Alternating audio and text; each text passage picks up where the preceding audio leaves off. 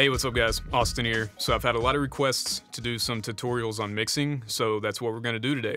And this is gonna be a three-part series, and the goal for this is to show you guys how I go from this to this.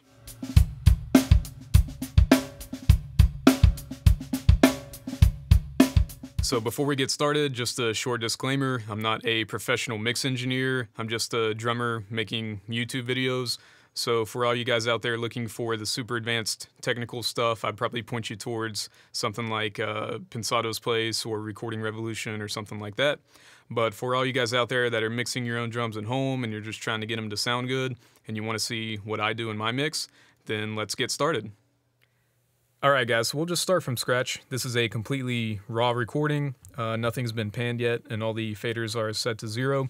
So when I play this back, it's going to sound pretty terrible, but this is what we're starting with.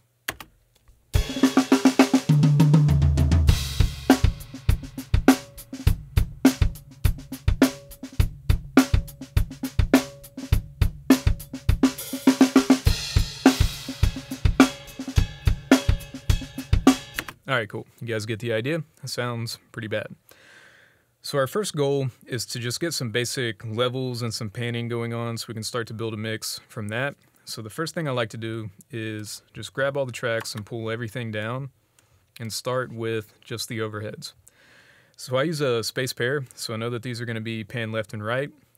So I usually do minus 45 and plus 45. I never really go like fully panned left and right, so uh, around minus 45 works for me, okay?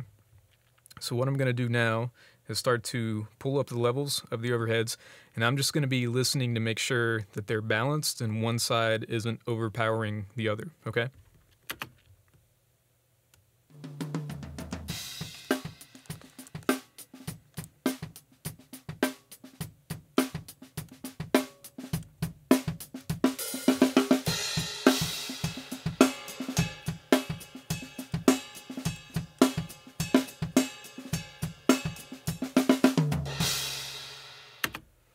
Okay, that's a good place to start. So now what I'm going to do is I'm going to listen to the overheads again, and I'm going to be paying attention to where the other drums are in the stereo image, because that's going to dictate where I'm going to pan them, okay? So we'll go ahead and start uh, from the beginning, and I'll tell you what I'm listening for.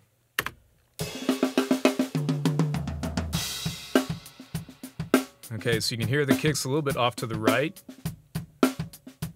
I'm going to put that at plus five for the kicks. The snare's a little bit off to the left. I'll put that at minus five. We'll isolate the toms here.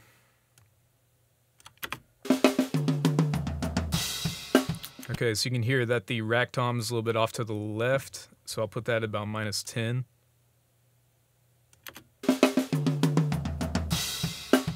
And the floor tom's pretty far to the right, so I'll put that at about plus 30. Okay. So now that we got the panning, I'm just going to start bringing up the levels until they're all blended together and it starts to sound like a drum set.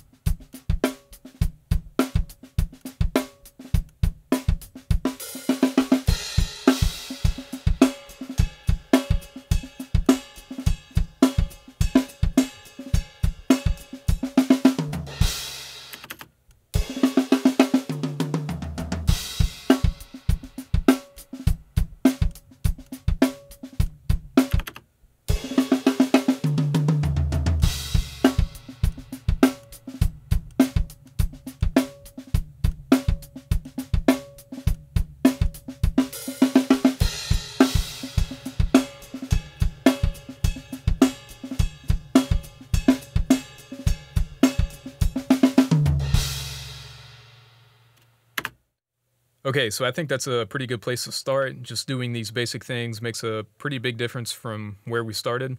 So that's going to do it for part one. And part two, we're going to go into EQ and compression and all that kind of stuff.